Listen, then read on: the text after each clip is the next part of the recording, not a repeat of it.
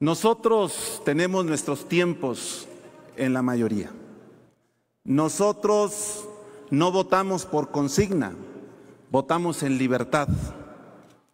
Nosotros discutimos todas las propuestas que vamos a llevar al Pleno. A veces no tenemos consenso en nuestro grupo, debo reconocerlo. Pero cuando emergen propuestas que pueden coincidir con los demás grupos parlamentarios, se construyen así las mayorías calificadas.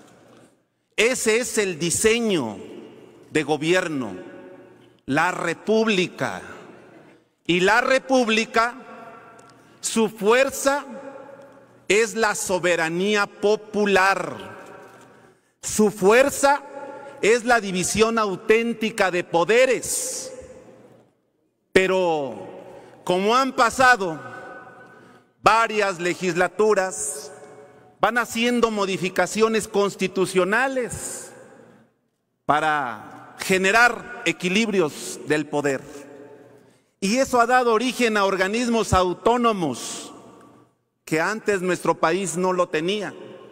Se inició con el proceso democrático después del 88 se inició con la firma del Tratado de México-Estados Unidos con Canadá para generar otro tipo de organismos autónomos.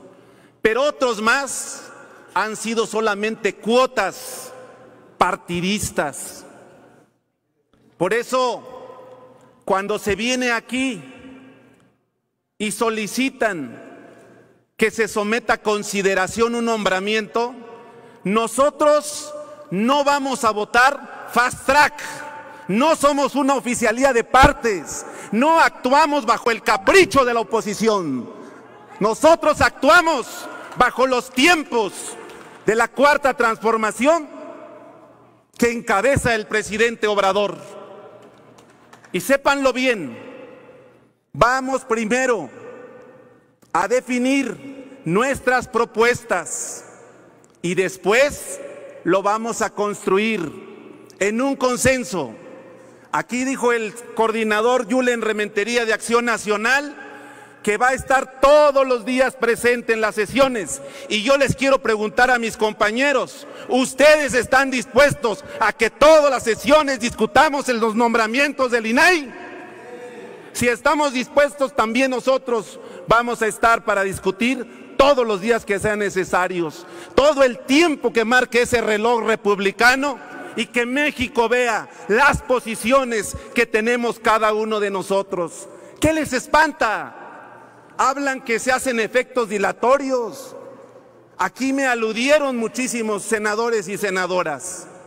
No voy a señalar a nadie, pero sí les pediría que lean cuáles son los derechos que tenemos como personas, quienes vinieron a este Senado y todos los nombramientos que emanen del Senado de la República pueden ejercer el juicio de amparo emanados del 103 y el 107 constitucional.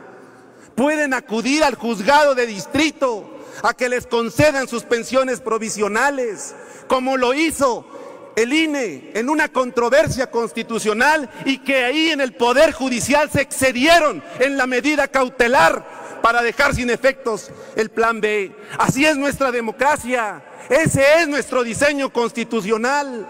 ¿Cuáles chicanadas? ¿Cuáles efectos dilatorios?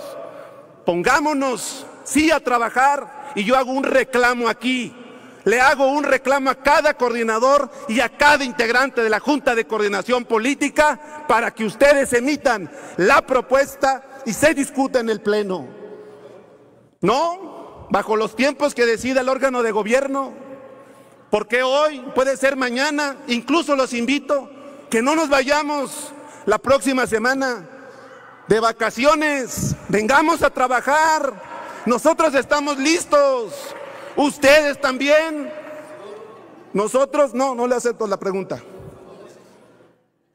Quiero decirles que en Morena nos vamos a poner de acuerdo. Y los juicios de amparo con efectos de suspensión tendrán que seguir su curso. Por eso, la tercera propuesta del INAI, que el día de hoy se cumple la responsabilidad de un comisionado, debe ser con absoluta responsabilidad y buscar los mejores perfiles. Si hay consenso, saldrá.